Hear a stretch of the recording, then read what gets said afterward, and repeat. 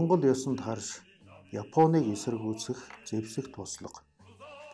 Бүгд найрамдах хятад ард улс байгуулагдсан эхний өдрөөс авахуулаад цөөн тоот үндэстний эзэн ирэх болон Японы хоорондох харилцааны асуудалд маш нухацтай хандсан юм а.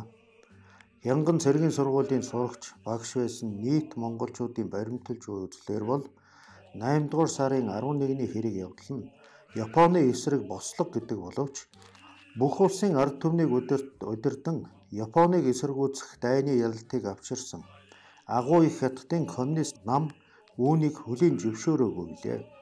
Хятадын коммунист ном нь бүр шуудхан ил цагаан инхүү зөвхөн дайны төгсгөлд хэдхэн Япон хүн алчхаад түүнийгэн яаж Японы эсрэг бослого гэж нэрлэж чадаж байна гэсэн нь Монгол хүмүүсийн хувьд тунч зэвүүн бөгөөд муу ёр зөгнсөн мэдэгдэл байлаа. 20 дугаар зууны отхон он болох 1999 оны 2 дугаар сарын 13-ны өдөр Хятадын коммунист намын төв хорооны нэгдсэн фронтын ажлын алба маш нухацтай хэлэлцэн Хятадын коммунист намын төв хорооны удирдах зөвлөлийн зөвшөөрлөөр 8 дугаар сарын 11-ний өдрийн монголчуудын Японы эсрэг хийсэн бослохыг зэвсэгт бослого мөн хэмээн хүлээн зөвшөөрсөн байна. Үүнээс урд Юмл бол тэдэнд тоглоомын хянган цэргийн сургуулийн хуурмаг офицер буюу эсэргүү офицерууд гэсэн нэр өгч нүдээр үздэггүй байжээ. Тоглоомын хянган цэргийн сургуулийн хуурмаг офицер буюу эсэргүү офицерууд заавал хятадын коммунист намын цэргээс хэд дахин илүү хичээл зүтгэл гаргаж байж энэхүү доромж нэрээс нь сална. Эс тэгвэс тоглоомын айрам хэмээх муу нэрээсээ хизээж салахгүй байваа. Дараагийн бүлгүүдэд өгүүлэх Монгол цэрэг төвдийг төвшөтгөх үйл ажиллагаанд энэ нэртэй холбоотой шалтгаан хүчтэй нөлөө үзүүлсэн юм а. Тоглоомын офицер буюу эсэргүү офицерууд аргагүй нэрхэнд төвдийг дайлах дайнд оролцож нэрээ цэвэрлэх хэрэгтэй болжээ. Дайнд ялагдан зугтсан хүмүүсийг хөнөөж болохгүй. Зөрчвөл Монголын ёсонд нийцэхгүй юм а. Энэ нь Монголын холбооны автономт засгийн газрын удирдагч байсан Дэвангийн удирдлага дах бүх хүмүүстэй буулгаж байсан зарлиг юм а. Янган цэргийн сургуулийн захирагч дэслэгч генерал Үржинч гэсэн Дэвангийн энэхүү тушаалыг дагахыг сурагчдад үүрэг болгожээ. Дэслэгч генерал Үржин аль эрт Вангийн сүмээс машинаар зогтон гарсан боловч тэсэлгүй буцан ирж нөхцөл байдлыг тогтворжуулахыг хичээсэн ч ямар ч нэмэр болсонгүй. Сүүлдээ тэрээр Япон дарга нартай хамт олзологдож зөвлөлтөд хоригдож байсан байна. Тэрээр Буряд Монгол хүн бөгөөд Оросын Октябрийн хувьсгалын үед Улаан цэргийн эсрэг тулалдаж байжээ. Түүнийг олзолсны дараа зөвлөлтийн хил сэрэг хүлээлгэхээр янз бүрээр дарамтлснаас болж тэрээр шоронд өлсгөлн зарлаж улмаар насан эзэслэжээ. Үржин 2 м өндөртэй 100 кг гаруй жинтэй ёстой л Чингис хааны хойд дүрмэт сүр жавхаатай ир байж билээ. Тэр бол үнэхээр домогт дайчин байсан юм а. Хидака Киёши 2012 оны 2 дугаар сарын 23-ны өдрийн NHK телевизийн нэвтрүүлгээр ингэж хэлсэн байна. Сурагчдын зөвлөлийн гарт нийт 8 Япон дарга амь өргөцсөн ба монголчуудаас хэн удирдан зохион байгуулж хэн гардан гүйцэтгэсэн болоо. Энэ асуулт миний толгойд байнга эргэлддэг. Манай японочдын 10 жилийн туршид зүтгэсэн нөрийг хэцээ зүтгэл хаашаа хийсэн одвоо. 8 хүн алагдаж сурган хүмүүжүүлэх хөдөлмөрийн үр шим маань бүгд талаар болсон юм а. Мөн энэхүү үйл явдлын тухай Фуживара Сакуя бас ингэж тэмдэглэсэн байна. Миний эцэг болон тэдгээр багш нарын сургаж байсан Хянган цэргийн сургуулийн монгол сурагчид нь Манжгоогийн хуурай замын цэргийн бэлтгэл оюутнууд байсан юм а. Тэд Чингис хааны үр удам гих өөрийн үндэс ухсаагаар маш их бахархдаг тун цэцэн сэргэлэн шилдэг гарамгай хүмүүс байсан юм. Тэдний дунд Япон цэргийн эзэрхэг төрөмгийн занд ихэд дургуутдаг хүмүүс олон байсан юм а. Хидака Киёши Фукуока хотод байхдаа надаас монголчуудын талаас 8 Япон торгыг хороосон хэргийн материалтай бид танилцахыг хүсэж байна гэсэн юм аа. Би дотроо маш их шаналж байлаа. Яаж 98 нас өдөр зоогоолсон өндөр настай хүнд 8 сарын 11-ний өдрийн гэгээн сүмийн зэвсэгт туслахын гашуун үнэн хэлэх юм бэ. Тийм зориг зүрх надад үнэндээ байсангүй. 1995 оны намрын нэгэн налгар өдөр Өвөр Монголын их сургуульд Японы төрөнвөлжтийг ялсны түүхт 50 жилийн ойн баяр зориулсан эрдэм шинжилгээний хурал зохион байгуулсан юм а.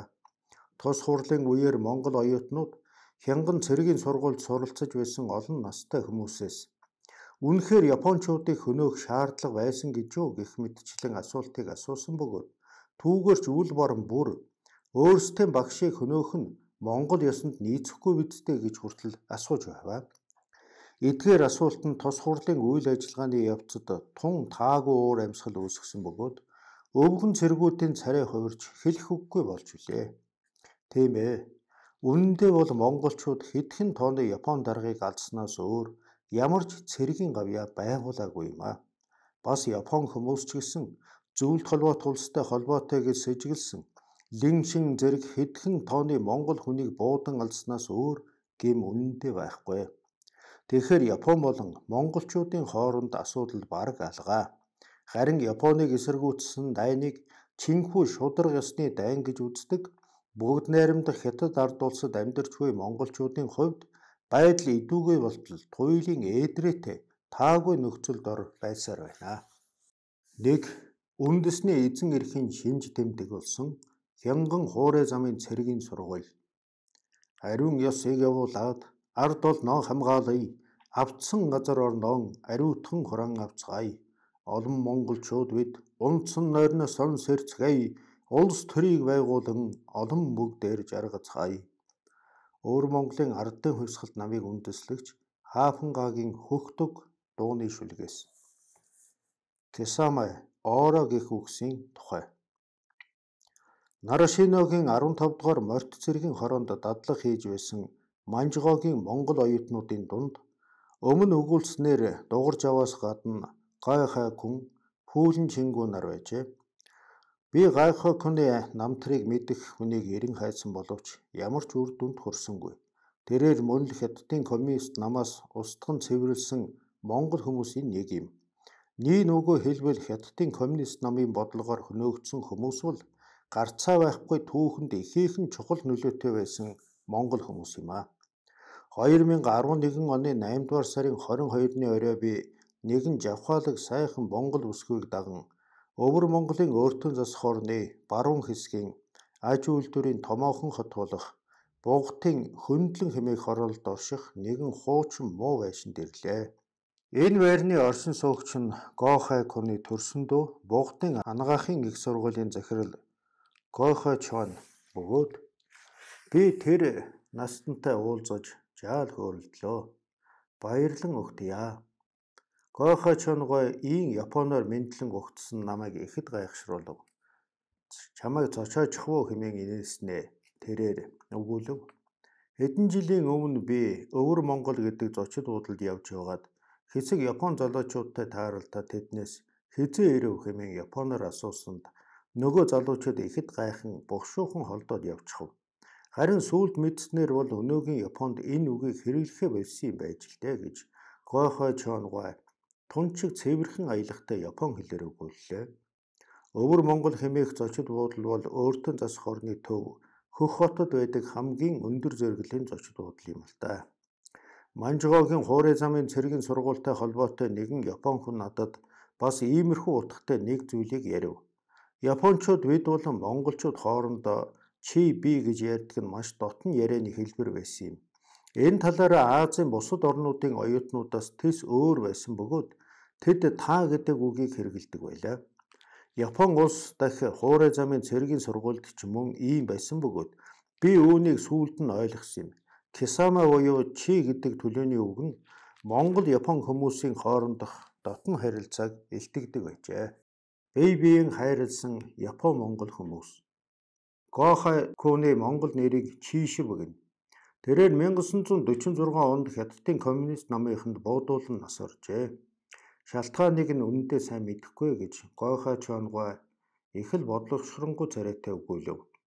Үнэн хэрэгтээ бол гойхой чонтой уулзахаас 2 хоногийн өмнө гойхой күүний бас нэгэн дүү болох Гойхой Чинтэй Ордос хотод уулзсан юм а. Ордос хот нь Бугад хотоос баруун зүгт орших ба хатан голоор тусгаарлагдана. Гойхой Чингийн хэлснээр бол Гойхой хүнд 1946 оны хавар хорчны тал нутагт Улаан гэдэг нэртэй нэгэн эмэгтэй дарга цаазын ял оноосон бөгөөд түүнд Монголын холбооны өөртөө засах улсын Дэвантай сүлбэлтсэн гэдэг ял тулгажээ. Харин Гойхой Чингийн эхнэрийн мэдээлснээр бол Гойхой хүн тэргүүтээ 20 гаруй монголчуудыг Бээсийн сүмийн дэргэд бөөнөр нь буудан хороосон гэсэн юм а. Хэн нь үнэн хэлснийг өдгөө ялгах арга үнэнтэй байхгүй. Гойхой Кун нь Японы талыг тун идэвхтэй баримталдаг нэгэн байсан бөгөөд тэрээр нэгэн Япон эмэгтэйтэй сэтгэлийн холбоотой байлаа. Бас хянган цэргийн сургуулийн сурагчид болон доод албан тушаалтнуудынхаа дунд ихээхэн нэр нөлөөтэй байсан төдийгүй Дэвантаж тун дотн харилцаатай байваа. Ийм учраас л Хятадын коммунист ном түүнийг бослого уймын дэгдээж мэдэх этгээд хэмээн сэжиглэн хардаж байжээ гэж Хятадын ардын чөлөөлөх айрмад совилогч байсан Гойхай Чингин эхнэр хэлвэ. Бусдыг айлгахын тулд түүнийг олны өмнө буудан хороосон бөгөөд таван удаа буудуулсан тэрээр босож зогсохыг оролдоход нь бууны чадар нэвт сүлбэж амийг нь хороосон гэж Гойхай Чингин эхнэр бас нэг гэрчилсэн юм а. Гойхай Чуан Гойхай Чин нар хэдийгээр ахыг нь буудсан монгол хүнийг мэдэж байсан боловч нэрийг нь хэлсэнгүй. Ах トゥ хоёул Буудсан хүн өөрийгөө Хятадын коммунист намын тушаалыг гүйцэтгсэн гэж хэлсэн бөгөөд олон удаа тэдний гэр орноор ирж бурууга хүлээн гимшин харуулсаж уучлал гуйсан хэмээн гэрчилсэн юм хаа. Гуаха Кван маш жавхаалаг эрдэм чадал төгс сайхан ирвэжээ. Тэрээр Хянган цэргийн сургуулиас шилэгдэж Японы хуурай замын цэргийн сургуульд суралцсан 3 хүний нэг бөгөөд бүгд түүний эрдэм чадалтай хүн байсныг хүлээн зөвшөөрдөг. Гойхай күний сэтгэлтэй Япон эмэгтэй нь Йоко гэдэг нэртэй Кюшо нутгаас гаралтай үлсгэлэн гоо бүсгүй байжээ. Гойхай чон дурсахтаа Йоко авхан гэр бүл хүр хорхой үржүүлдэг байсан бөгөөд хар багаасаа өнчөрч дүүгийнхэн сургалтын зардлыг олохоор Манжгоо улсад ирсэн гэдгийг. Тэгээд тунлиад байдаг Манжгоогийн хянганы дотоодыг хамгаалах цэргийн 9-р дивизийн захиргаанд бичээчээр ажиллах болжээ. Тэрээр маш үзэсгэлэнтэй бүсгүй байсан тул олон Япон офицер түүнд сэтгэл алдардаг байжээ. Түүний ах тэр үед штабын офицер ахлах төслөх цолтой байсан ба тэд Боо Шу Ин гэдэг монгол хүний гэрт амьдарч байжээ. Колончлогч улс төрийн колон орны эрчүүд эмгтээчүүдтэй хизээч эхнэр болгон өгдөггүй харин ч эсэргээр байдаг үлээ. Энэ нь дээвцийн цус доод цусаар бохирлогдохгүй гэсэн үзэлтэй холбоотой. Харин колончлогч улсын эрчүүд нь колон орны эмгтээчүүдээс эхнэр авч болдог байваа. Тухайн үед ийм үзэл санааг маш хатуу баримталж байлаа.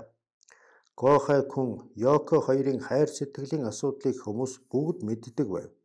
Хэдийгээр цөөн тооны язгууртан японочууд тэдний энэхүү харилцааг эсэргүүцдэг байсан боловч ихэнх нь хүлийн зөвшөөрдөг байваа. Тухайн үед Японы колони байсан Тайвань болон Солонгосчуудтай харилцах харилцаа нь Монголтой харьцуулахад өөр байсан байна. Тэр байтугай Токиогийн их дэлгүүрийн цахилгаан шат ажилуулдаг нэгэн үзэсгэлэнтэй авахыг Хянганы дотоодыг хамгаалах газрын 11-р дивизийн штабын дарга байсан Жинжүр жавтай гэрлүүлэх гэж японочууд хөөцөлдөж байваа. Гохай кун Йоко нар цэргийн тойргийн гаднах нэгэн зоогийн газарт эсвэл найзынхаа герт болзож цагийг хамтдаа сайхан өнгөрүүлдэг байжээ.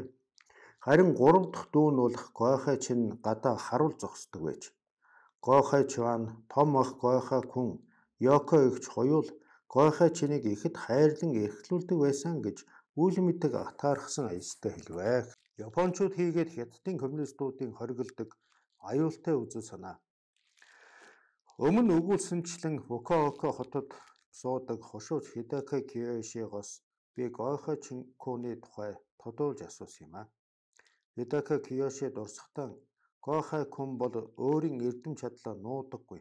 Харин өөрийн чадвараар гайхуулдаг, хаач явсан шудраг үннийг эрхэмлдэг чанга байсан юм а. Улс төрөөс илүү арх хүүхэнд дуртай байлаа. Дэм учраас түүнийг Хянган цэргийн сургуулийн багш байхад ёс суртахууны хувьд тохирохгүй хэмээн үзэж Тунлягийн цэргийн 9-р дивиз рүү шилжүүлж байсан юм. Тэрээр тэнд байхдаа Йокотой танилцжээ. Гэвч Гохай хүний хоёр дүү нь болох Гохай Чуан, Гохай Чин нарын үзэл тэс өөр байваа. Ахын үзэл санаа Хятадын коммунист намыг маш хүчтэй эсэргүүцдэг байсан юм а. Ах маань Монгол болон Япон үндэстэнд хоёулын их хайртай байсан бөгөөд түүний үзэл нь таван үндэстний эв нэгдлийг чанд баримталдаг Манжгоо улсын хувьд ч аюултай тооцогддог байваа. Манжгоо улс байгуулагдсаныхын дараа монголчуудын тусгаар тогтнолыг аажмаар дэмжих юм болж монголчуудыг хятадуудтай найрсаг харилцаатай байхыг тулгах болжээ. Япончуудын бодлоор бол түүнийг хянган цэргийн сургуульд багшлуулсаар байвал туулширсан үзэл санаа нь сурагчдад нөлөөлнө хэмээн болгоомжлон тунлиад шилжүүлсэн байна. Аюултай үзэл санаатай Гохо хүн Вангийн сүмээс Тунлягийн 9-р дивизийг шилжин тэнд Йокотой учирснаар өөр хоёр үндэстний залуус бие биедээ сэтгэлтэй болжээ. Энэ талаар бас өөр яриач байдаг. Зарим хүмүүсийн яриагаар бол Гохо хүн Нарушинод суралцж байхдаа Токиод байсан Йокотой хайр сэтгэлийн холбоотой болсон гэх бөгөөд Гохо хүн сургуулиан төгсөж нутагтаа буцсны дараа Йоко сэтгэлд хүндрүүгээ тэмүүлэн Гинканайда тэнгисийг гаталж Монголын тал нутгийг зорин иржээ. Япончууд дайнд ялагдсан буцсны дараа 1946 оны 3 дугаар сард Гохэ күн Йокотой холбоо тасарчээ. Энэ үед тэрээр өөрийн төрсөн нутаг болох Төмөд дунд тушууны Бэпё хотын Хэчинзи дүүргийн ойролцоо Монгол залуусыг нэгтгэн зохион байгуулж удирдагч нь болжээ. Тухайн үед Хятадын коммунист ном туйлын харгас хэрцгийгээр энх тавьж замаар шинжлэх хөдөлгөөнийг гүйцэлдүүлж байлаа. Энэ нь Монголын шилдэг гэсэн хүмүүст Японы хань хамсаатан хэмээх ял тулгаж цаазлан хорох үйл хэргийг хэлж байгаа юм а. Тус ажиллагааны удирдагч нь улаан гихч эмэгтэй байсан бөгөөд тэрээр Хятадын коммунист намын байрлаж байсан Янянд бэлтгэгдсэн хүн байваа. 1946 оны 4-р сард Жэхэ мужийн Чиндэ хотод Хятадын коммунист намыг дэмждэг Өвөр Монголын өөртөө засах хөдөлгөөний холбоо нь Өвөр Монголын ардын хувьсгалт намын Зүүн Монголын ардын өөртөө засах ордныг татан буулгаж зөвхөн Өвөр Монголын ардын хувьсгалт нам бол монголчуудын үндэсний цорын ганц эзэн эрхийн төлөө тэмцдэг нам гих үзлийг чанд баримталж Хятадын коммунист намын удирдлагыг үл дагсан монголчуудыг олноор нь хөнөөн цэвэрлэгээ хийжээ. Гохой хүн чухам тэр үед л амь насаа алдсан юм а. Төвний үзэл санаа, бат итгэл үнэмшил болон өнгөрсөн амьдрал зэрэг нь энэхүү гонигт хөгсгөлд хөтөлсөн ажээ. Харин улаан гэдэг нь хятадын коммунист үзэлд бат итгэлтэй гэдгээ илэрхийлж авсан нэр гинэ. Япончуудын төрөмгөөллийн үед бэлтгэгдсэн олон тооны монголчуудыг алсан улаан гэгч нь бүгд найрамдах хятад ард улс байгуулагдсны дараа Өвөр Монголын өөртөө засах орны хөнгөн аж үйлдвэрийн яамны дэд сайд байжээ. Харин соёлын хувьсгалын үеэр тэрээр мөн л салан тусгаардагч үзэлтэн хэмээх нэр зүүж ой тоонд багтамгүй аимшигтайгаар тамлуулан эрэмдэг зэрэмдэг болж хүн дөрөх амьдралыг туулан явсаар 1987 онд насан ууд болжээ. Хятадын коммунист намд үнэн сэтгэлээс нь зүтгэсэн монгол хүмүүс түүнийхэн үр ашгийг хүртэж огт чадаагүй лээ. Гохай хүний дайчин нөхөр дуурж авна 1980 онд Японы хуурай замын цэргийн сургуулийн 52 дугаар удаагийн төгсөлтийн ангийн найз Танака Кеничид бичсэн захиалдаа. Гохай хүн 1946 оны ороо босгоо цаг үед бий баржээ. Одоо Монголд миний хамт гүйлэн шингүүл байна гэжээ. Үүнээс үзвэл дуурж авч гисэн Гойхоконы үхлийн бодит үннийг илэрхийлж зүрхлийг байна. Хянган цэргийн сургуулийн ах トゥ гурав. Үннийг хэлэхэд Гойхок хүн Японоос буцаж Хянган цэргийн сургуульд ирсний дараах маш олон үйл явдлыг идүүгээ судлан нотлох ямар ч аргагүй болжээ.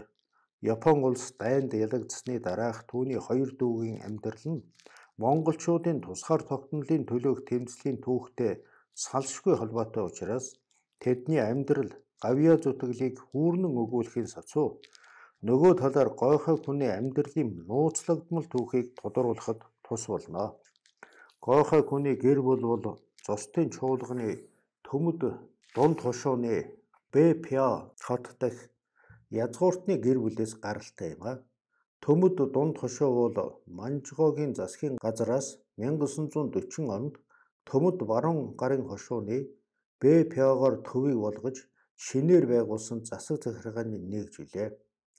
Ахмад хөвгүн болох гойхой хүн бол Хянганы цэргийн сургуулийн анхны төгсөгч бөгөөд гойхой чуан, гойхой чин нар нь Хянган цэргийн сургуулийн 8, 11 дахь удаагийн төгсөлтийн сурагчид өгөөд 1938, 1941 онуудад тус сургуульд элсэн орцгоосоо. Ах トゥ гурвыг Хянган цэргийн сургуульд суралцуулсан эцэг Дүүлбат бол боловсрол Эрдэм номыг машид эрхэмлэн дээлдэг хүн байжээ. Хөвгүүдтэй наран улсын орчин үеийн эрдэм мэдлэгийг заавал сурч авах ёстой юм шүү гэж байнга захидаг байжээ. Дүү нарыгаа хянган цэргийн сургуульд суралцахыг гойхой хүн күнж ихэд дэмждэг байваа. Хоёрдугаар хуулах гойхой чуун нь 1939 оны 2 дугаар сард Харбины хуурай замын цэргийн ангах ухааны сургууль шилжин орсон бөгөөд суралцах хугацааны нийт 5 жилийн төлбөрийг Момон Косеко буюу Монгол ардын мөнгөн сангаас дааж байсан байна. Тус сургуулийн хичээл нь албан ёсоор япон хэлээр ордог байсан бөгөөд нэг ангид 40 хүнтэй ба 8 япон, 1 солонгос, 6 монгол, 25 хятад сурагчтай. Гойхо Чон сургуулийнхаа номын сангаас нууцаар зөвлөлт холбоот тулс болон гадаад Монголын хэрэг явдал зэрэг хориотой ном авч уншдаг байсан ч үүгээр тогтохгүй.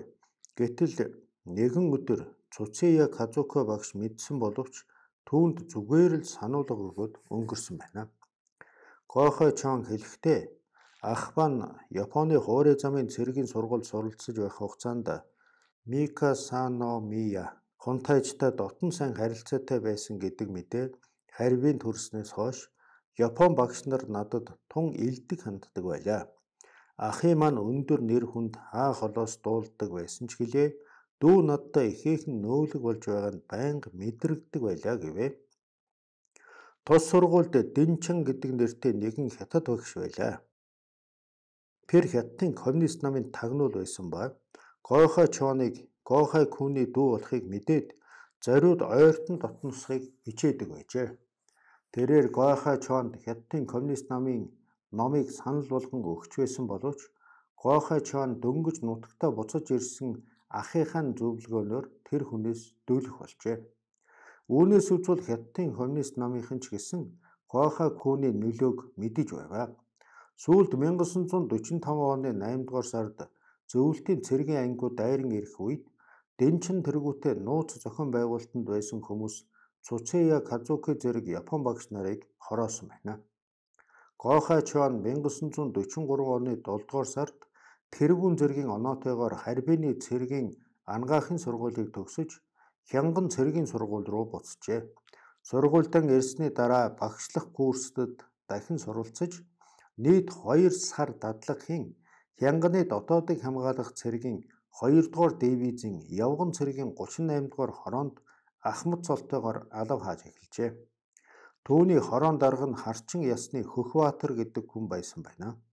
Гойхой чин яг энэ үед бэлтгэл 1-р ангид сурч байсан ба сомон дарга нь отооны нобороо хөшөөж байжээ.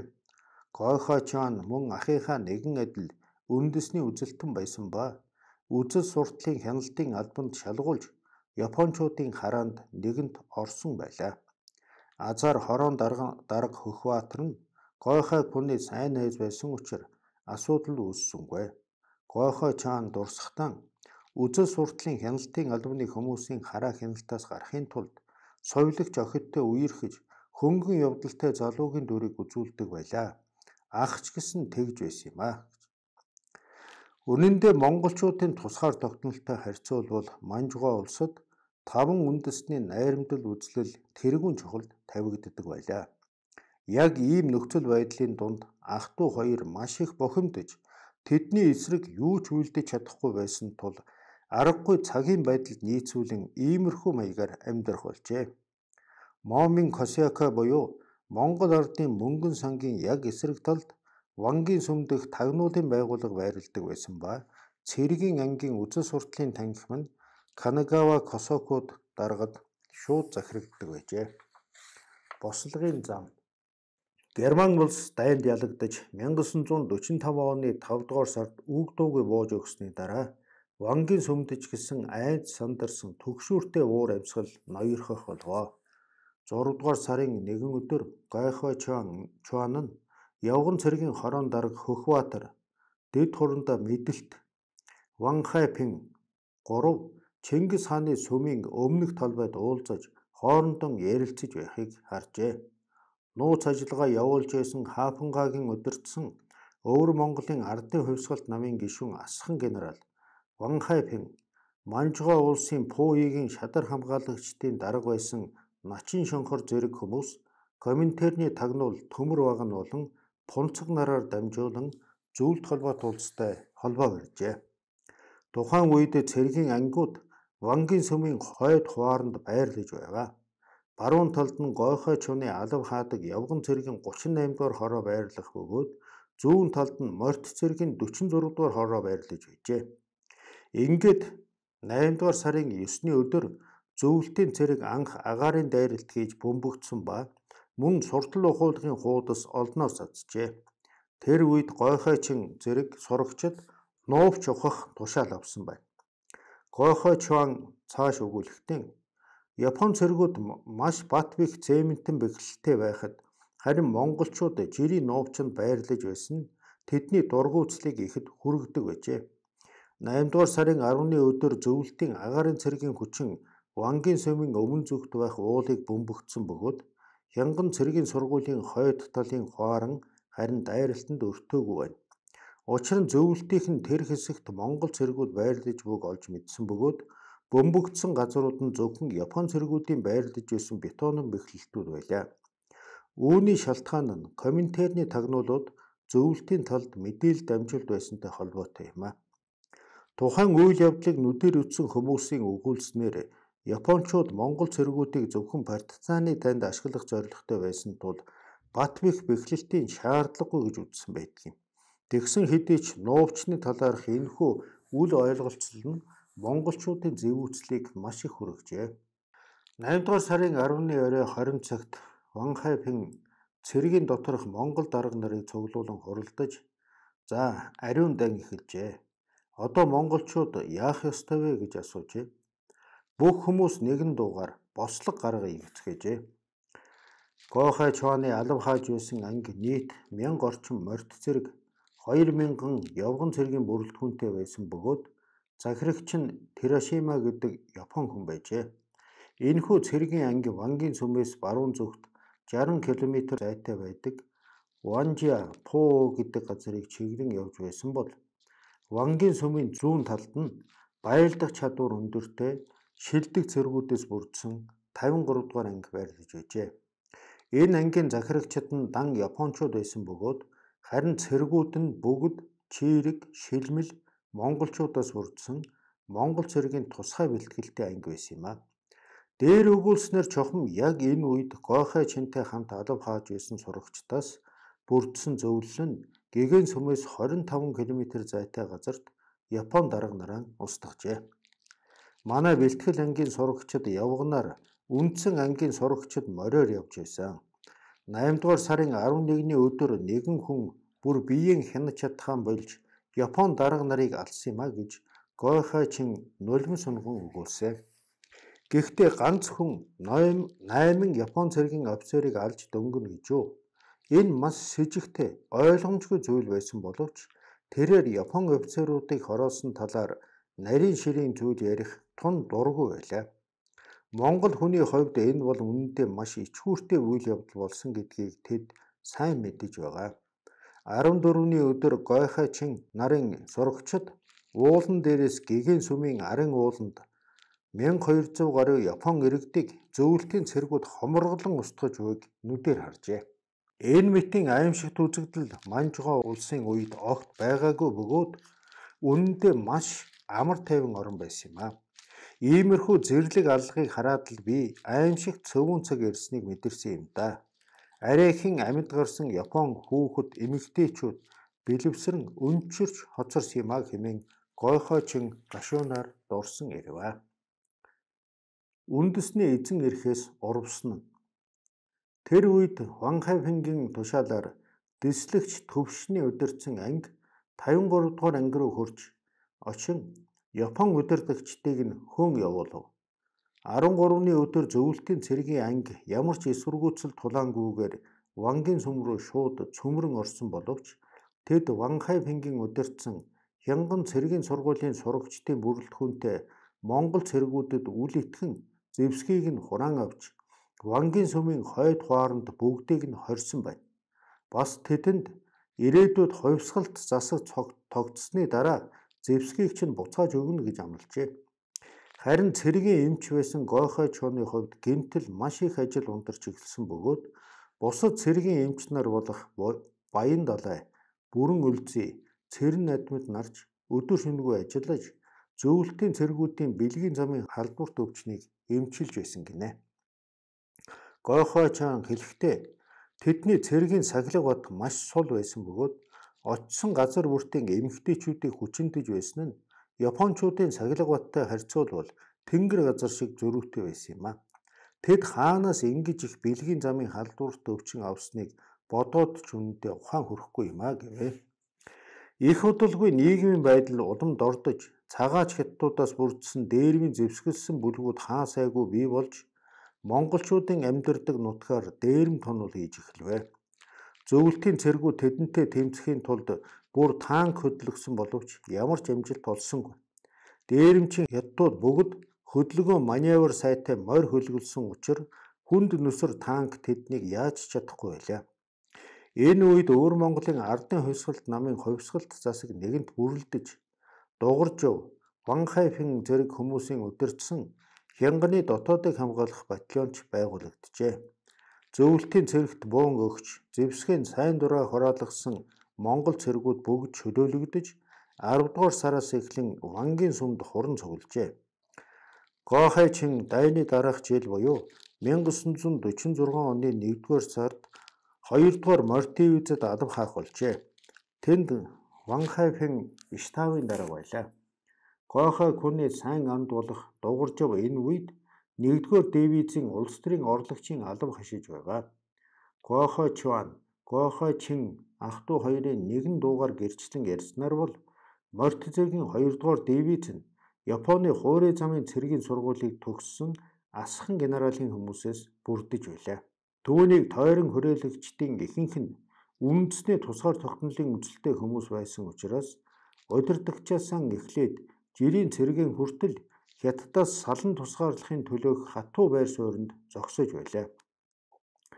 Иймээс тэд удаа дараа устгал цэвэрлэгэнд орж байжээ. Гэтэл нэг ч монгол хүн оролцоогүй яалтын гэрээ монгол үндэстний нэгдлийг юу ч үгүй сүрүүлжээ. Социализмыг мөрөөдсөн тухайн үедээ хориотой байсан коммунист үзэл санаатай номуудыг нууцаар уншсан залуучууд Гоминда намыг сонгох ус харин коммунист намыг илтгэд таашаан дэмжин нэгдэцгээжээ. 2. Ялалтын үр шимийг хүртсэн Хятадын коммунист нам. Урд зүгээс нисээд ирсэн улаан голууны зулцгнөхөө уртх шар мөрөндөн суухгүйгээр ниснүүдээхөө урваад гарсан гада мэрингийн учир явдлыг хэлбэлдээхөө өргөн олон монголчуудын газар шорооны учраахөө Монгол ардын гада мэрэн дуу энх тайвант замаар газар шинчлэх хөдөлгөөн 1946 оны 1-р сард зөвлөлтийн зөвшөөрлөөр Манжугаа улсад Хятадын коммунист намын 8 замын цэрэг нэвтрэн орлоо. Тэд өөрсдийгөө Японы эсрэг шударга ёсны айрам хэмээн нэрлэж харин монголчуудыг бүх үндэст нэрийн Японы хамсаатан хэмээн шүүмжилжээ. 4-р сарын 3-ны өдөр Хятадын коммунист нам болон Өвөр Монголын ардын хувьсгалт нам нь ЖХ мужийн Чиндэ хотод хамтарсан хуралдаан хийж Японыг эсэргүүцэх хөдөлгөөнд оролцоогүй хэмээн Өвөр Монголын ардын хувьсгалт намыг буруушааж татан буулгахаар болжээ. Иймэрхүү хүнд хэцүү үед зарим нэгэн тогтворгүй үжил бодлын зөрчилтэй залуу удирдагчдын дундаас Хятадын коммунист намын нууц гişүүд илрэн гарч ирлээ. Морьт цэргийн дивиз ч гэсэн монголчуудын эвнэгдэл тусгаар тогтнолын төлөөх үүргээ умартан Хятадын коммунист намд тархиа хугаалган тэдэнтэй хамтран Хятадын нутаг дэвсгэр дээр даян дэлхийн пролетарын хөлзгтийн үйл хэргийг хэрэгжүүлж Хятадтай хамт социалист холбооны улс болох нь монголчуудын өтөр төрхөн гүйцэтгэхээс зохистой үйл хэрэг мөнөөсөө мөн хэмээн гэж үзцгээжээ. Хятадын коммунист нам нь морьт цэргийн дивизийн доторх үндэсний үзэлтэй удирдагчдыг хөөн гаргаж байсан боловч Манжгоогийн үед бэлтгэгдсэн чадварлаг боловсон хүчнийг ашиглахыг ч бас зорж байлаа. Тухайн үед цэргийн эмч маш их хэрэгтэй байсан тул Гохай Чуаныг хяналтын дор ашиглаж болох хүн гэж үзэн Манжийн онон мужийн Монгол ордын захиргаанд ажилуулахаар томилжээ. Тэрээр дөрвд хошууны Вангийн ордон байдаг цагаан Баян цагаанд хүрснийхэн дараа Хятадын коммунист намын инх тайванч замаар газар шинжлэх хөдөлгөөнд оролцсон байна.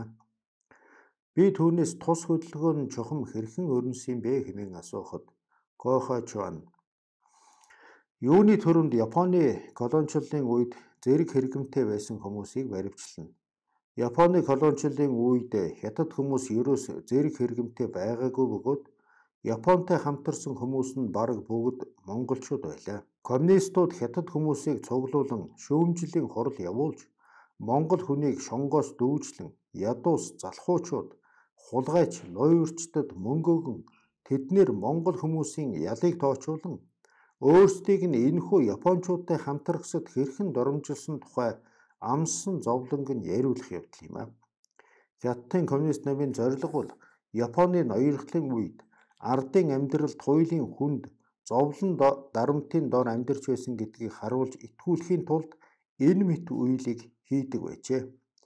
Ингэж шөөмжлүүлж байгаа этгээдүүдээс ялаа хүлээсэн нэг нэг нь газар дээр нь цаазалдаг байваа. Монголын язгууртнууд болон шилдэг хүмүүсийг устгасны дараа Монголын тал нутаг төрөмгийлэн эзлэгч хятадуудын гарт аяндаа орсон гэж ярваа. Хятадын коммунистам яг иймэрхүү овмих ашиглан 1946 оноос эхлэн Өмнөд Монголын зүүн хэсэгт инх тайвж замаар газар шинжлэх хөдөлгөөнийг явуулсан бөгөөд хүсснийг авч чаджээ. 10 жилийн дараа тэд энд хоримтлуулсан туршлагаараа төвдүүдийн их нутгийг булан авчээ. Харин төвдүүдийн эсэргүүцлийн бослогыг Монгол морьт цэрэг нухчин дарсан юм а. Энэ тухай дараагийн бүлгүүдэд дэлгэрэнгүй өгүүлнэ. Нэгэн бодит жишээг өгөөлбөл Вангийн сүмийн хажууд Манжуу түн гэдэг нэгэн тосхон байжээ. Энд амьдардаг монголчууд газар шорооны өөрчлөлт хэмээх хөдөлгөөнийг эсэргүүцдэг байваа. Учир нь тэд энэ хөдөлгөөний гол зорилго нь монголчуудын газрыг булан авч хятадуудад өгөх явдал гэдгийг сайн мэдэж байваа. Иймээс хятадын коммунист ном шийдвэр гарган хамгийн түрүүнд нөлөө бүхий хүн Гобашаныг зэрлэгээр цаанцлан хороожээ. Тэрээр Манжгоогийн айрмын хошууц цолтой байсан ба айрмаас халагдсны дараа Чанжиа Дяны ой модны талбайн даргын албыг хашиж байжээ.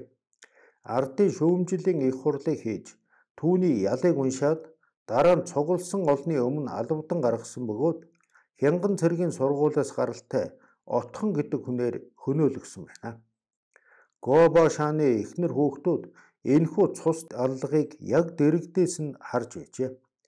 Хятадын коммунист намын хүнлэг усаар цаазын ялыг гүйцэтгэж ард түмнийг айлгадаг энэхүү аргыг түлхүү хэрэглэж байсан юм а гэж Гохо Чон өгүүлвэ. Үүний дараахан Манжуу төвний монголчууд шууд зэвсэгт буслаг гарган хятадуудтай тулалдсан ба нэг хэсэг нь бүгд найрамдах Монгол ард улс руу орхон гарсныг хүмүүс сайн мэдэж байгаа. Төшөг тулгуурын алдсан Монгол морьт цэрэг Гойхойчоон тэргүүтэй хүмүүс Манжгоогийн Хянган мужийн дарга Өвөр Монголын ардын хувьсгалт намыг үүсгэн байгуулагч Буян мандахыг газрын эзэн мүлжигч анги хэмээн олонний өмнө заазалжээ. Буян мандах нь хятад хүнд хизээж итгэж болохгүй гэсэн хатуу үзэл бодолтой байсан тул ийм ховь тавилантай учирчээ. Тэрээр Монгол хүн уужуу сэтгэлээр хятад тариачдад газар шороогоо зээдэр өгсөн бөгөөд бүр илүү гэрээч тэдэнд өгсөн. Одоо тэд давраад герт маань эзэн суухыг хүсэж байна уу гэж хэлдэг байсан бөгөөд газар шорооны өөрчлөлтийг бүх хүчээрийн илэрхий эсрэг үцдэг байжээ. Бас өвөр Монголын ардын хувьсгалт намын тэргүүлэгч Хаафангагийн эцэгч мөн ингэж тамлагдж ирүүдүүлжээ. Буян мандах болон Хаафангагийн эцгийн энэхүү хэрэгүүдээс үүдэн Монгол цэргүүд дургуутсан зэвүүцэх итгэл алдрах явдлыг их гарснаас болж Хятадын коммунист нам нь энэхүү хоёр хүнийг инэрэнгүйгээр шийтгэх үйл ажиллагаанд шилжсэн юм а. Миний ойлгохгүй байгаа нэг зүйл бол бүхэл бүтэн 5 дивиз асар их чадвартай морьт зэрэгтэй монголчууд чухам яагаад хятадын коммунист намын энэхүү тамлал доромжллыг хүлцэж тэднийг эсэргүүцэд тулдаагүй бидний үеийнхэн огт ухахгүй байгаа юм а гэж би түүнээс асуусан юм. Гойхочо надад ингэж хэлв. Гурвыг шалгах хөдөлгөөнд дунд морьт зэрэг хатуу үзэл санаатай хүчтэй удирдлагын алдсан юм.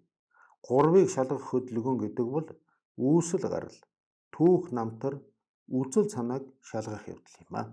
Тодруулбал нэгдүгээрт мүлжигч ангийн гаралтай эсэх, хоёрдугаарт Манжгоогийн үед цэргийн дарга байсан эсэх, гуравдугаарт Хятадын коммунист намын төлөө үнэнчээр байлдах эсэх гэсэн гурван гол шалгууртай. Тухайн үед Хянган цэргийн сургуульд суралцж байсан хүмүүс бүгд баян чинэлэг гэр бүлээс гаралтай байсан тул ихэнхийг устган цэвэрлэх шаардлагатай болжээ. Эдгээр хүмүүсийг орлох чадвартай хүн тэр үед үнэндээ байхгүй байсан юм. Азар амьд үлдсэн цөөн хэдэн удирдагчдад зөвлөлтөөс тушаал зааварчилгаа өгч Хятадын коммунист намын бодлогыг эсэргүүцэж болохгүй хэмээн тулгажээ. Санааны уг дахь ганц төшиг тулгууран алдсан Монгол морьт зэрэг зүгээр л байлдааны зэрэг болжээ. Зөвлөлт холбоот улсын тушаал заавар маш хүчтэй нөлөөтэй байсан бөгөөд зөвлөлтийн шав байсан Хятадын коммунист нам олон удаагийн өргөн хэмжээний устгал цэвэрлэгээр дамжуулан мүлжигч ангийг бүрэн цэвэрлжээ. Үүнээс хойш монголчууд дахиж босох ямар ч боломжгүй болсон байна. Хятадын коммунист намд морьт цэргийн байлдах чадвар л хэрэгтэй байлаа. Хятадын коммунист нам гоминдантай байлдахын тулд Монголын морьт цэргийг гартаан оруулж бүрэлдэхүүнд нь байсан үндэсний үзэлтнүүдийг заавал цэвэрлэх шаардлагатай мөн тулгарчээ. Үндэсний үзэлтнүүдийн гол зорилго нь тусгаар тогтнол байсан тул хятадын төлөө хэрхэвч тулдахгүй тодорхой байлаа. Иймээс тэднийг бүрэн өсөн устган цэвэрлэж Монгол морьт цэргийг ямар ч бодол санаагүй хөлсний цэрэг болгон хувиргасан байна. Ингэснээр Монгол морьт цэрэг ямар ч тушаалыг шууд биелүүлдэг хэний ч эсрэг хамаагүй Япон сэлмээ сугалж цусд дайн хийдэг хүчин болж хуурчээ. Хятадын коммунист намын айрам хизээнээс Япончуудтай нүүр тулан байлдахаас зайлс хийдэг байсны гол шалтгаан бол гоминданчуудтай тулдаж засгийн эрхийг авах зорилго юм. Үүнд бэлтгэж хүчээр нөөж байжээ. Японыг эсэргүүцэх дайны үр шимийг Хятадын коммунист ном илүү ихээр хүртсэн билээ. Тус ном нь Японы колоничлалын үед сурган боловсруулсан 5 дивиз морьт зэргийг бүгдийг өөрийн мэдэлд оруулан авсан юм а. Японы дайны сүүлээр Гоминдан болон Хятадын коммунист намын хооронд өрнсөн иргэний дайнд эдгээр 5 дивизийг өөртөө нэгтгэсэн Хятадын коммунист нам илт давуу байдлыг олж авлаа.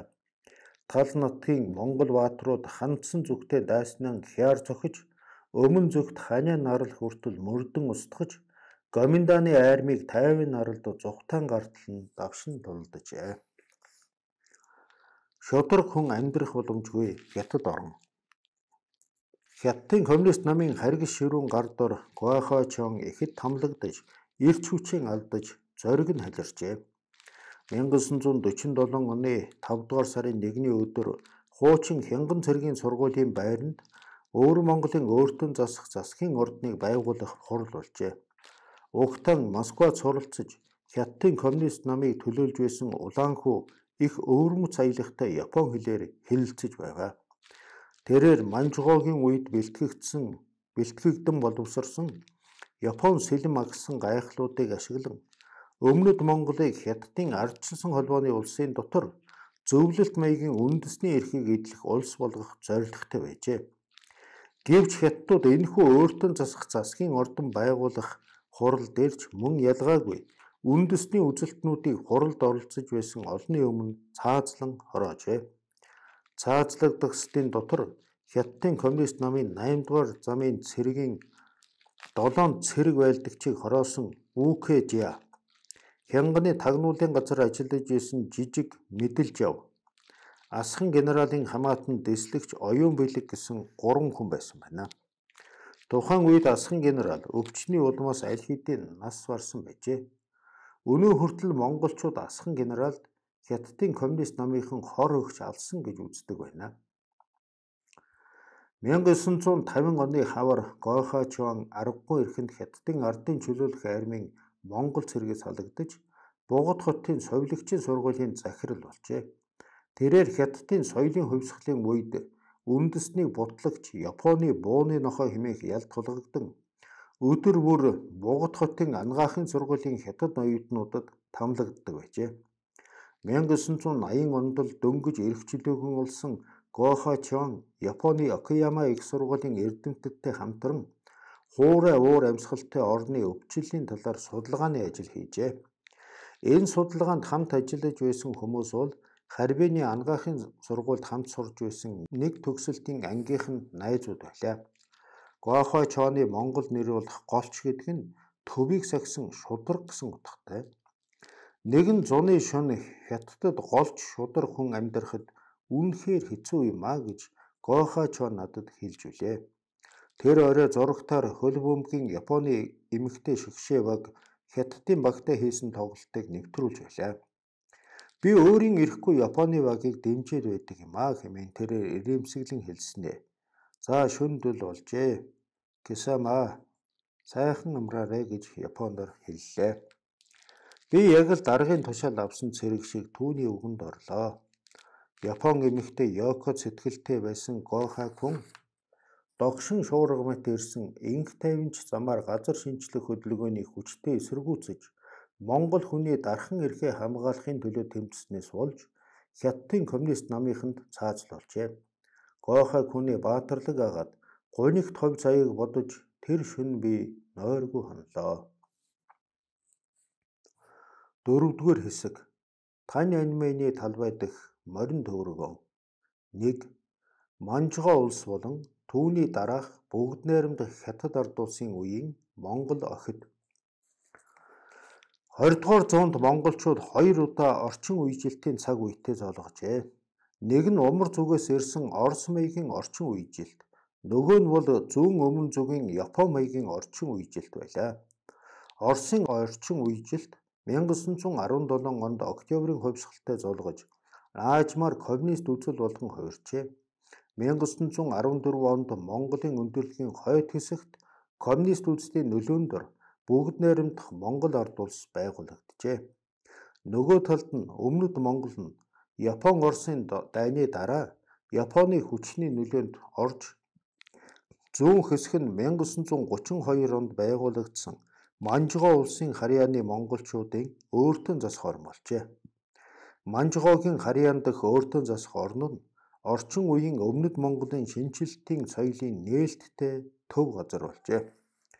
Маш олон залуу үндэсний үзэлтнүүд энд бэлтгэгдэж тусгаар тогтнолынхын төлөө тэмцсэн байна.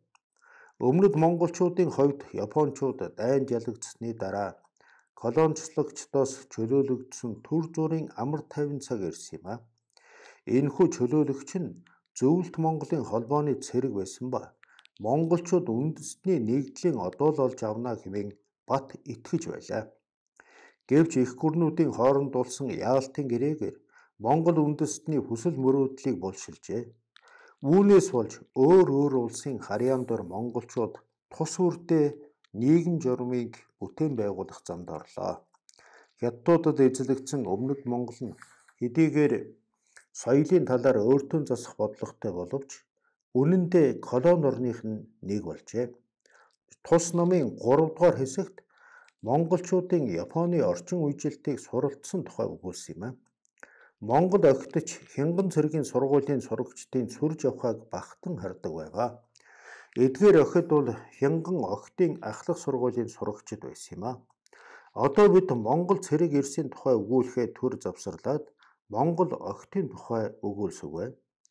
Монгол охтын туулсан түүхээр Японы орчин үежилтийн бодит явцыг ойлгож нэг ялангуяа цэргийн эдэр эрчүүдийн үнэн төрөх байдлыг өөр нэг өнцгөөс харж болох бөгөөд энэ нь бүхий л Монгол үндэстний тухайн цаг үеийн нөхцөлийг харуулж чадна гэж бодож байна. Мөн үүнээс бид Япон болон монголчуудын нийгэм хоорондоо маш нягт харилцаа холбоо нөлөөтэй байсныг олж харж байна болно. 3 дахь хүнд ялтны охин дүү 2008 оны 11-р сарын 29-ны өдөр Япон улсын Кёто хотын Кинкакужи сүмийн ойролцоо орших орон сууцны хороололд би Сэрэг гэдэг нэгэн монгол эмэгтэйтэй уулзсан юм аа. Тэрээр өвөр Монголын өртөн засах орноос Кёто их сургуульд суралцаж буй охин эргэхээр ирсэн юм байна. Би байнга Японыг дурсдаг юм аа. Бас Японд сурахыг их хүсдэг байсан боловч тэгж чадаагүй. Харин одоо миний охин Японд суралцаж судалгааны ажил хийж байна. Энэ нь миний хүсэл биелснээс ялгаагүй юм аа. Охинтойгоо хамт Япон орноор аялахад бага насндаа эргэж очисон юм шиг л санагдах юм гэж Сэрэг надад ярьсан ба. Японд байгаа өдөр бүхэн минь баяр хөөрөөр дүүрэн байна гэж нэмж хэллээ. Үүнээс 8 сарын өмнө Өвөр Монголын өөртөө засах орны төв Хөх хотод түүний төрсөн ах төгсөөс би сурвалжлага авсан билээ. Төгс бол Япон улс дайнд ялагдсны дараа дахин үйл ажиллагаагаа өрнүүлсэн Өвөр Монголын ардын хувьсгалт намын нөлөөтэй боловсон хүчнүүдийн нэг юм аа. Тэрээр Өвөр Монголын хувьсгалт залуучуудын эвлэлийн удирдагч байжээ. Тухайн үед Өмнөд Монгол болон бүгд найрамдах Монгол ард улс хоёрын нэгдлийн төлөө зүтгэж байсан бөгөөд Өмнөд Монголын ард түмнэр гарын үсэг зурулах хөдөлгөөнийг зохион байгуулжээ. Бүгд найрамдах Монгол ард улстай нэгдэх үйл ажиллагаа нь бүтлгүүцсэний дараа харийн боол болохгүй тулд бүгд найрамдах Монгол ард улс руу оргон зүгтах бэлтгэл хийж байжээ. Гэтэл өвөр Монголын ардын хувьсгалт намын тэргүүн хаафанга түүнийг ятгаж дундад иргэн улсын хараанд дээд зэргээр өөртөө засах ажлыг хамтдаа хий хэмээн ятгсан бөгөөд тэр ч зөвшөөрч нутагтаа үлдэжээ. Бүгд найрамдах хятад ард улс байгуулагдсны дараа төгсөн өөртөө засах орны тэргүүлэгч Улаан хүүгийн баруун гар Өвөр Монголын өөртөө засах орны коммунист намын сурталчилан хуулгын хилцэн орлогч дарга болж хүсэл зориг дүүрэн ажиллаж байжээ. 1966 онд Хятадын соёлын хувьсгал эхлэх үед Түүний тусгаар тогтнолын төлөө тэмцэж байсан эсэргүү түүхийг дахин сөхөж төгсийг Улаанхүү Хаафанга хоёрын дараа орох 3 дахь хүнд ялтан хэмээн ялжээ. Хятадын засаг төр ялтан төгсийн нүглээр дүүрэн түүх хэмээх зохиол бичүүлэн тухайн үед Өвөр Монголын өөртөө засах оронд олон хүнд тарааж байсан улаан хамгаалагч цэрэг сонд нийтэлжээ. Төгсийн ял нүглээр дүүрсэн түүхийн хэрэг бүгд нь бүгд Өвөр Монголын ардын хувьсгалт намын үндэсний тусгаар тогтнолын төлөө тэмцэж байсан түүх юм аа. Сэрэггүй 3 дахь хүнд ялтан салан тусгаарлах үзэлтэн болоод Хятадын онц хүнд гэмт хэрэгтний охин дүүгийн хувьд Японы ноёрхлын цаг үе болон бүгд найрамдах Хятад ард улсын ижил болоод ялгаатай талуудыг тооцон өгүүлвэ. Манжгоогийн үе дэх Монголын язгууртнууд Сэрэг Би 1931 оны 9-р сарын 18-ны өдөр төрсөн юм аа. Миний бие өөрийн цаг үеийн хүмүүстэйгээ нэгэн адил маш хүнд бэрх давлгаан дунд бүхий л амьдралаа өнгөрөөх нь тодорхой байсан юм. Тэрээр Японы мөгдний хэрэг явдал болсон тэр өдөр хорчин баруун гарын дунд хушууны хушуу ноён Хөхлөөгийн гэрт дөрөв дэх хүүхэд нь болон мэндэлжээ. Өмнөх гурван хүүхэд нь бүгд хүү байсан тул охинтон өхөөрдөм нэр хайрсан нь Линю бөгөөд энэ нь одоогийн сэрэг юм. Чингис хааны алтан ургийн гүнж байсан учраас Линю багаасаа сайн боловсрал эзэмшжээ. Хөхлөөгийн ууган хүн төгс цогт, хоёр дахь хүн сайн цогт, баг хүн сайн мандах гэдэг нэртэй байжээ. Линүүгийн дор бас нэгэн эрэгтэй дүү байсан нь буян мандах. Эмэгтэй дүү нь тунгалаг гэдэг нэртэй байгаа. Ахмад хүү төгс цогт нь хожим нэрийн товчилж төгсгөх болжээ. Хожим сурган хүмүүжлийн хувьсгал сонины 1967 оны 12 дугаар сарын тусгай дугаарт хөхлөөгийн гэр бүлийг ийхүү шөөмжилсэн байдгийг. Төгс бол бас Хаафангагийн хамсаатан бөгөөд улаан хүүгийн төлөөлөгч мөн хувьсгалын эсээг засварлах үзэлтэн бас салан тусгаарлагч итгээд урт хугацааны туршид намд тэрсэлж улсаан худалдах нуус хуйлдан явуулсан бөгөөд түүний ялыг тоочвч оршгүй. Төгс бол томоохон газрын гизэн эрх мэдэл бүхий нэрт язгууртны гэр бүл төрсөн түүний эцэг Личин Лун бол бас Японы эзэрхэг төрөмгийлэгчдийн үнэнч нохой байж тоглоомын манжгаа улсын үед хорчин баруун горын дунд хушууны хушуу ноён байсан юм а. Личин Лун нь Хаафанготой хамтарч Монгол болон Хятадын ард түмнийг харгас хэрцгээгээр дарлан мөлжиж байжээ. 1943 онд Хаафанга төгсийг зориудаар Манжгоогийн байгуулсан Жанго их сургуульд суралцуулжээ.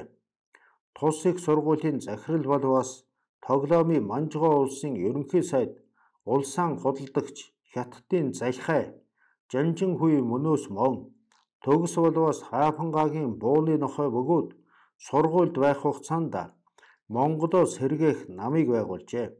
Тэд Чингис хааны үр хойчос бүлхэмдэн нягтарч улсаан сэргээ мандуулж бүх Монголоо нэгтгэе гэсэн эсэргүү уриал оозонг гаргасан. Японы ноёрхлын үед эцэг нь хошуу ноён хүүн Жонго их сургуулийн оюутан байснаас хөхлөөгийн гэр бүл Манжгоо улсын доторх монголчуудын шилдэг давхаргын хүмүүст багтаж байсан гэдгийг харж болно. Өвөр Монголын ардын хувьсгалт намын тэргүүлэгч Хаафанга нэг хэсэг Манжгоогийн Япон улс дахь элчин сайдын яамд ажиллаж монголчуудын дунд маш их нэр хүндтэй байсан ба Сэргийн ах төгсийг Хаафанга дэмжиж Жанго их сургуульд суралцуулжээ. Үүгээр үл урам түүнд хоёр үеэл ах トゥ байсан бөгөөд тэр нь буян дэлхий шийрв сүрэн нар юм аа. Шийрв сүрэнгийн эхнэр хасан гэрэл бол Хаафангагийн дүү лээ. Шийрв сүрэн өмнө нь Вангийн сүмийн Үечин коллежийн багш байсан ба бүгд найрамдах хятад ард улс байгуулагдсны дараа Бээжингийн үндэсний хэвлэлийн хороонд удаан хугацаанд ажиллаж байжээ. Хөхлөө болон Хаафангагийн гэр бүл нь зууртны хүрээнд багтаж байлаа.